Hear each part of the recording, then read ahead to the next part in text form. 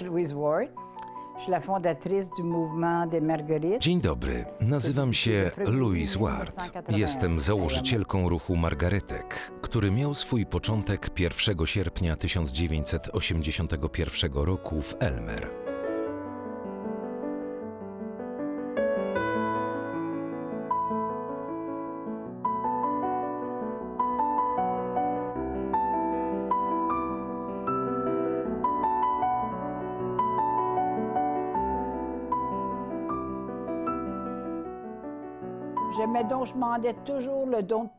Zawsze prosiłam Boga o dar pobożności, bo wydawało mi się, że to jest dobry dar,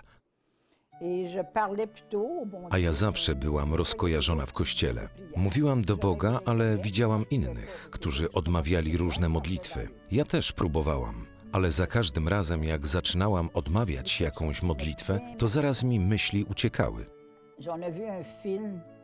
Jedna rzecz mnie bardzo poruszyła. Kiedy miałam 12 lat, zobaczyłam pewien film. Nie pamiętam tytułu, ale doskonale pamiętam, że na końcu tego filmu był pokazany pewien kapłan, który wszystko oddał Bogu, całe swoje życie. Mówił umierając, że oddał już całe życie Bogu. Tak mi się to spodobało, że powiedziałam sobie, że ja też tak chcę. Posuwałam się w mojej edukacji. Cały czas byłam w internacie. Później pracowałam w laboratorium. Wygrałam też konkurs piękności na tle tulipanów. Miałam wtedy 17 lat i byłam nawet przez chwilę modelką, ale nie odnalazłam się w tej rzeczywistości. Zawsze jednak interesowałam się osobami biednymi z naszej parafii, gdyż miałam taką ciotkę, staruszkę. Miała na imię Oksylia.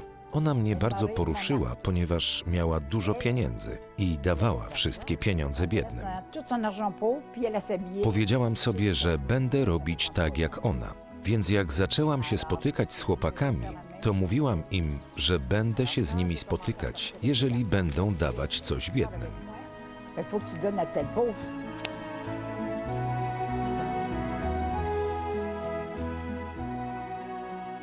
Dans la famille, Moi rodzice byli bardzo wierzący. Moja mama była bardzo szczodra. Przypominam sobie taką historię. Kiedyś przyjechała do mnie mama, a ja powiedziałam jej, że podobają mi się jej buty. Ona natychmiast odpowiedziała: Przyjechałam, żeby ci je podarować. Za każdym razem, jak ktoś mówił, że mu się u niej coś podoba, to mu to dawała. Była wychowana do okazywania ogromnej hojności. Mój ojciec był doskonałym ojcem. Uwielbiał mnie. Każdej niedzieli po mszy powtarzał nam kazanie księdza, żeby się upewnić, że dobrze żeśmy je zrozumieli. Ale była jedna sprawa, która mnie dotknęła na poziomie wiary. To chwile, w których nam opowiadał opis męki pańskiej. Pewnego razu, opowiadając nam opis męki pańskiej, rozpłakał się. Nigdy wcześniej nie widziałam płaczącego ojca. Tego nigdy nie zapomnę. Jeszcze widzę go, jak siedzi na krześle. Powiedziałam sobie, że w tym jest coś ważnego.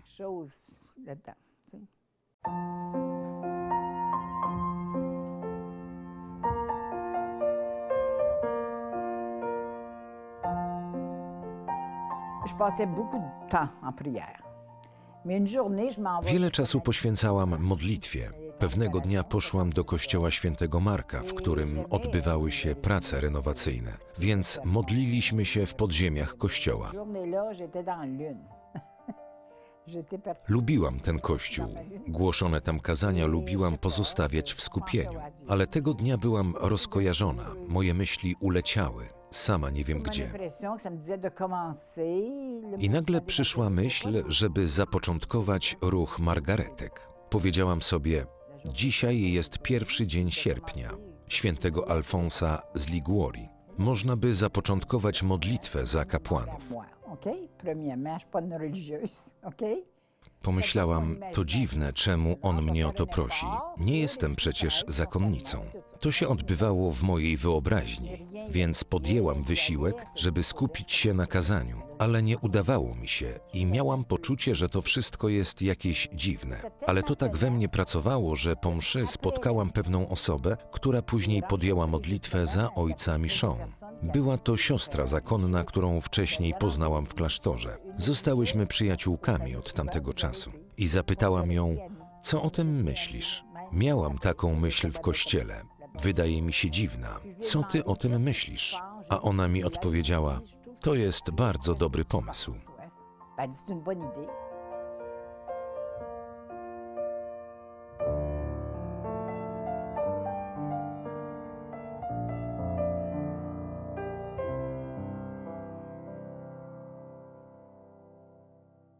Kiedy patrzymy na paschał, zapalamy go, mówimy często światło Chrystusa, czyli Jezus jako świeca, a kapłan jest alter Chrystus, czyli jest drugim Chrystusem.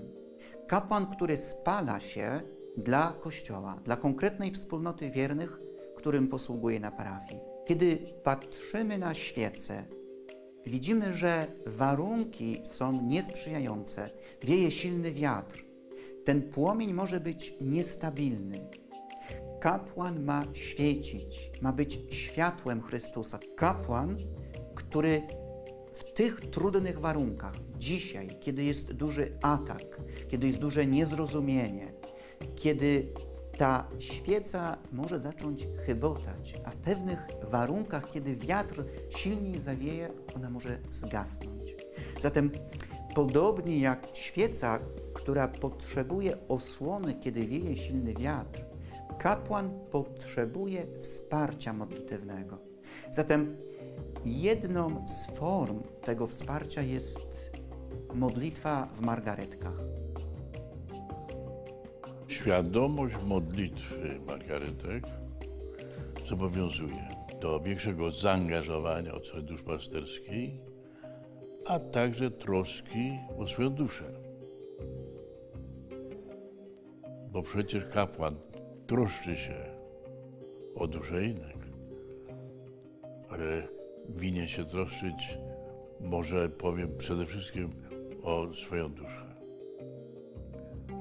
o swój poziom moralny, bo tym również apostołuje. Dzisiaj świadectwo jest bardziej ważne niż, niż słowo. Jak widzą kapłana y, przekonanego, pobożnego, to jest to, poprzez niego poznają Chrystusa i Ewangelię.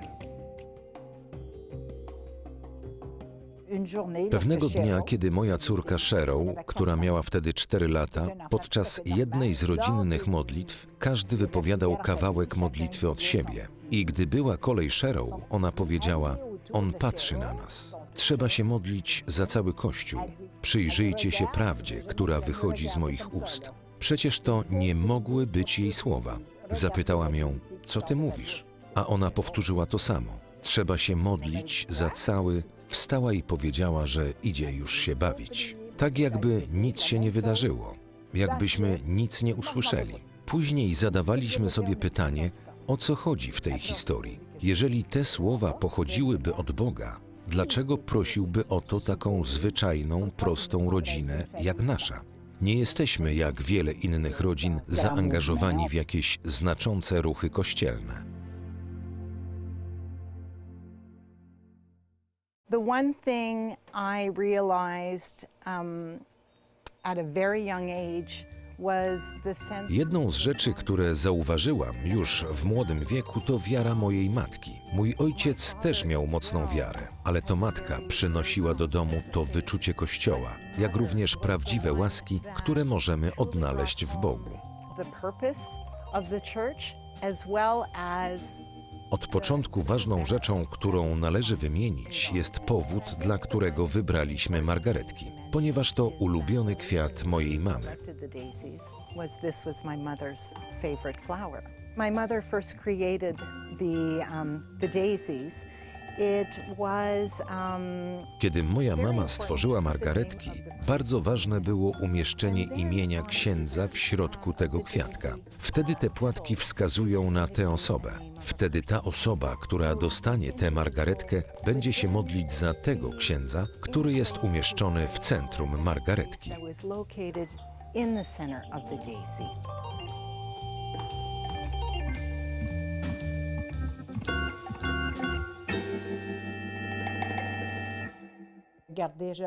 Przyglądałam się kapłanom. Kapłan jest osobą, która wybrała pewien styl życia, ale pomimo tego, że on wybiera taki styl życia, to możemy zaobserwować ogromną samotność kapłanów. Gdyż w niedzielę po mszy wszyscy wracają do siebie, szczególnie w Wigilię i w Dzień Bożego Narodzenia, a kapłan jest sam. Miałam wiele świadectw kapłanów, którzy mi powiedzieli: Jestem sam. I nawet jak się odczuwa tę samotność, to jest wtedy świadomość, że jest ktoś, kto mnie kocha, kto o mnie myśli. Im bardziej osoba czuje się kochana, tym więcej będzie kochać. Tak właśnie jest. Miłość promienieje. L'amour, ça rayonne.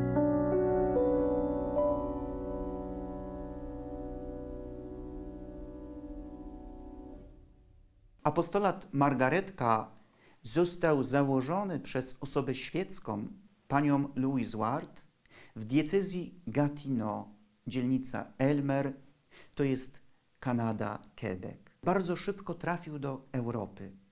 Wielką zasługę w tej dziedzinie, w dziedzinie jego rozwoju ma ojciec Jozo Zowko, franciszkanin z Medjugorje, który prosił w swoich konferencjach módlcie się za kapłanów.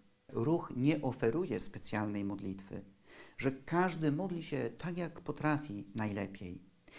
Jednak ze względu na pewne lata tradycji, w naszych blankietach proponujemy modlitwę o Jezu Boski Pasterzu i zachęcamy do tego, żeby odmówić dziesiątek różańca, czy koronkę do Bożego Miłosierdzia, czy jakąkolwiek inną formę modlitwy. Równie dobrze można ofiarować za kapłana Eucharystię. Można być na drodze krzyżowej, albo po prostu odmówić litanie. Najważniejsze, aby modlić się z głębi serca.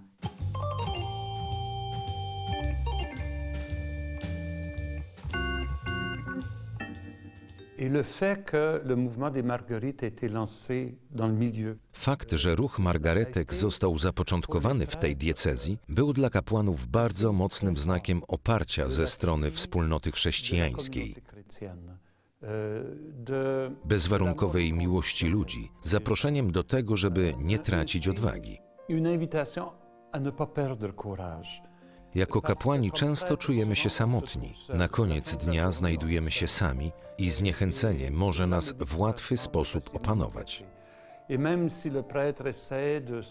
I nawet jeżeli kapłan próbuje odnawiać się w dziedzinie modlitwy osobistej, medytacji, refleksji, to nawet sam fakt tego, że ma świadomość, że ktoś się za niego modli, że myśli sobie, dzisiaj ktoś modlił się za mnie, jest nadzwyczajną siłą, źródłem nadziei, źródłem odwagi. une source d'espérance, une source de courage. Myślę, że w dzisiejszym świecie kapłan nie ma już autorytetu, a nawet jest dyskredytowany, w którym Kościół jest postrzegany jako pewnego rodzaju przeżytek z przeszłości, który jest na drodze do całkowitego zaniknięcia.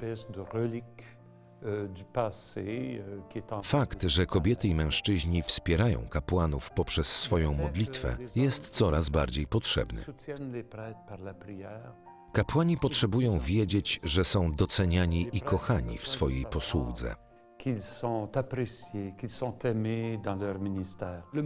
Ruch margaretek jest dla mnie namacalnym wyrazem, mocnym symbolem tej właśnie wspólnoty chrześcijańskiej, która modli się za swoich kapłanów.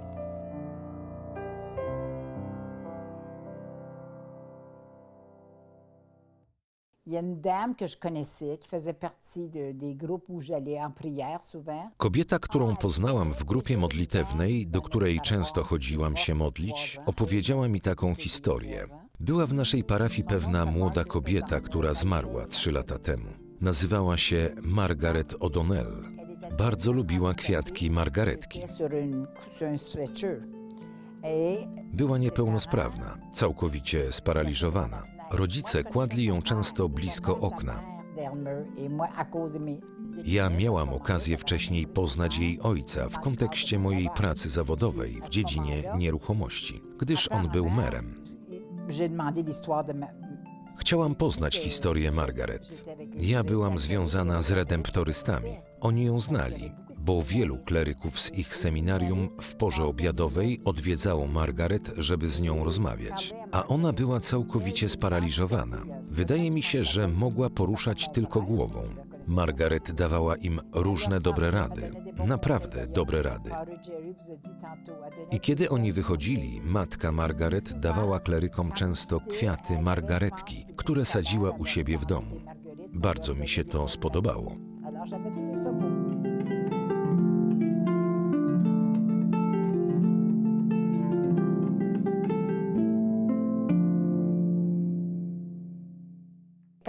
Kiedy zapoczątkowaliśmy ruch margaretek, powiedzieliśmy sobie, że znajdziemy jakiś symbol. Wybrałam margaretkę, bo to jest coś prostego. Chciałam, żeby ruch margaretek był dla każdego. Modlitwa jest dla wszystkich, więc margaretka jest prostym symbolem. Nawet dzieci przynoszą te kwiatki swoim rodzicom. Powiedziałam sobie, to musi być proste, więc zaczęliśmy wycinać margaretki o siedmiu płatkach. Jeden płatek na każdy dzień tygodnia. Każdy miał jeden dzień. Poprosiliśmy, żeby każda osoba wzięła modlitwę za jednego kapłana w jeden dzień i żeby to był jedyny kapłan, za którego bierze tę modlitwę. Ale oczywiście w naturalny sposób modlimy się za naszego biskupa, za papieża. Czyli wybieram jednego kapłana na ten jeden dzień w tygodniu i ten kapłan wie, że w ten dzień przede wszystkim modlę się za niego. Więc jedna osoba może maksymalnie wziąć siedmiu kapłanów, bo nie ma więcej dni w tygodniu. Każdego dnia modli się wtedy za innego kapłana. Tak było na początku.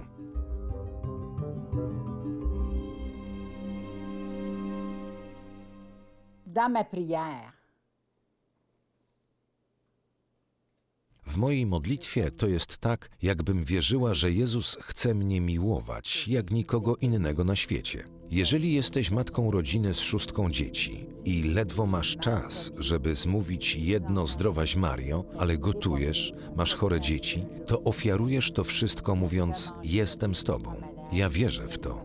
Jestem o tym przekonana, że bez względu na to, czy mamy tego świadomość, czy nie, wszyscy jesteśmy ze sobą nawzajem zjednoczeni, razem zjednoczeni w Jezusie Chrystusie. I to jest symbol margaretki. Jeżeli ja mam w sobie miłość, to ona sprawia, że Twoja miłość wzrasta w Tobie. ça fait grandir ton amour en toi.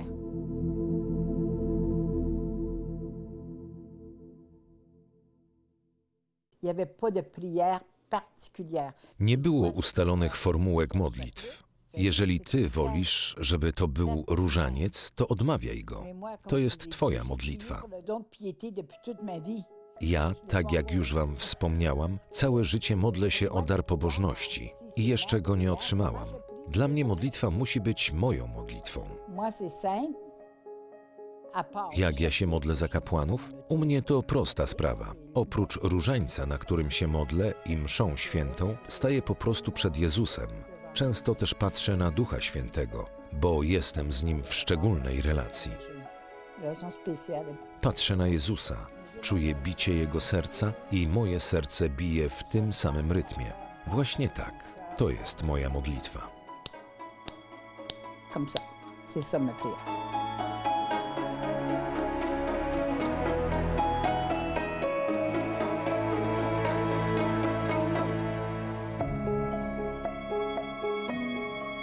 Je suis Monique Moisan. Je demeure à Loretteville, au- dans le diocèse de Nazywam się Monique Moisen. Przez 35 lat pracowałam jako nauczycielka i kończąc moją karierę zawodową, miałam takie pragnienie przynależności do jakiegoś ruchu, grupy, która pomogłaby mi w ciągłym wzroście, w rozwoju życia wiary, gdyż jest to dla mnie bardzo ważne i żebyśmy wspólnie z innymi mogli służyć w kościele. W tym momencie nazywam to nawiedzeniem w moim życiu. Wydarzyło się coś, czego nie umiem wyjaśnić. To tak, jakby ktoś mnie podniósł, bym podeszła do jakiejś kobiety z prostym pytaniem: czy ruch margaretek istnieje w diecezji Quebec? Ona patrzy na mnie i mówi: Nie, ale ty mogłabyś go założyć. Existe au diocèse de Québec. Elle me regarde. To mnie bardzo zaskoczyło. To tak, jakbym nie była sobą. Wtedy zrozumiałam, że Maryja mogła być naprawdę wstrząśnięta podczas zwiastowania, kiedy ogłoszono jej o wiele ważniejsze sprawy od moich. C'était. Là, j'ai mieux compris que Marie a pu être troublée quand on lui a annoncé beaucoup plus que en- quand on m'a demandé.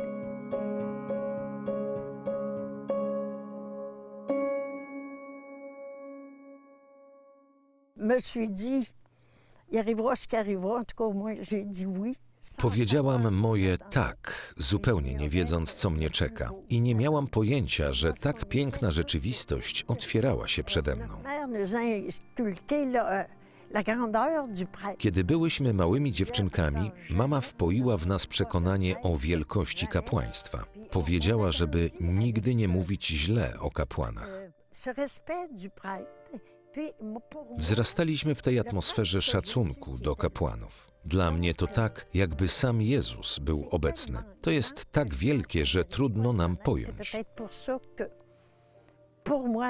Dla mnie kapłan jest Jezusem, który kontynuuje robić to, co On przyszedł zrobić. Jezus jest cały czas z nami w osobie kapłana, więc jestem cały czas obecna w dyskretny sposób, jak ta margaretka. I to jest jedno z najpiękniejszych moich misji.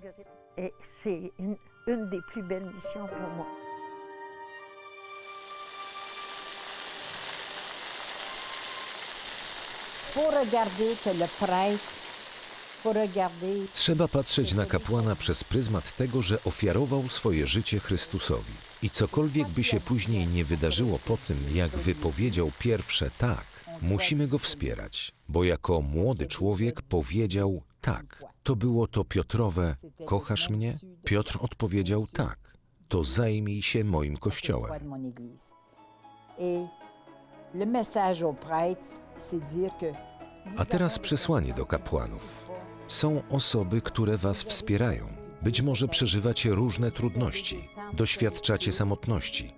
euh. Być może nie macie wymarzonej parafii. Rozumiemy to. Wspieramy was. Nie robicie tego na próżno. Jesteśmy wam wdzięczni za wszystko, co robicie. Czasami moglibyśmy mieć jakieś wyrzuty do was, ale nie. My wam dziękujemy. To jest takie ważne, żeby powiedzieć: doceniamy to, co robicie i dla nas ma to ogromne znaczenie. Kontynuujcie to. Jesteśmy z wami. To jest najważniejsze w tym przekazie. Ta jedność na wzór płatków margaretek, które znajdują się dookoła kwiatka, są razem połączone. A jeżeli czasami zdarzy się, że kapłan wpada w poważne tarapaty, to trzeba, żeby osoba, która się za niego modli, powiedziała mu: Wspieram cię mimo wszystko. Tak jak Chrystus wsparł Marię Magdalenę. Na tym polega modlitwa za kapłanów. C'est la même chose. Alors, c'est ça la prière pour les prêtres.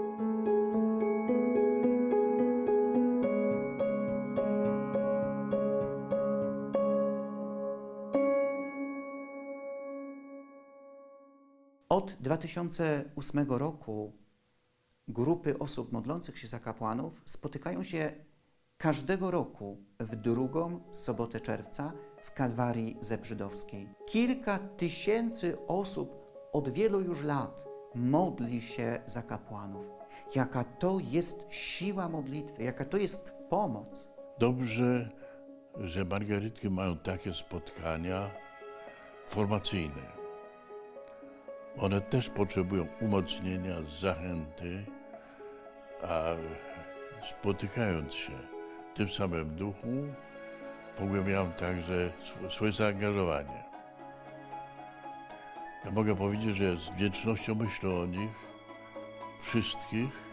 Myślę, że wielu kapłanów także odnosi się do tego wsparcia modlitewnego z wdzięcznością. Ważna jest modlitwa kapłana za swoich wiernych, ale równocześnie wierni poprzez modlitwę umacniają kapłana. I ta świadomość, że ludzie się modlą za mnie, jest bardzo twórcza w życiu kapłana i zobowiązująca. To jest to wielkie dobro z tego ruchu Margaretek. Jestem szczęśliwy i zadowolony, że ten ruch przyszedł do Polski, że znaleźli się również kapłani, którzy zrozumieli wartość modlitwy wiernych za kapłanów i to się rozszerza nie tylko w stosunku do kapłanów, ale także w stosunku do biskupów. Spotykam się z ludźmi, z margaretkami, którzy mi mówią, ja się za księdza modlę. Zawsze to z wielką wdzięcznością przyjmuję i bardzo jestem Panu Bogu wdzięczny, że jest ten ruch. Zwłaszcza dzisiaj kapłan w Polsce potrzebuje umocnienia.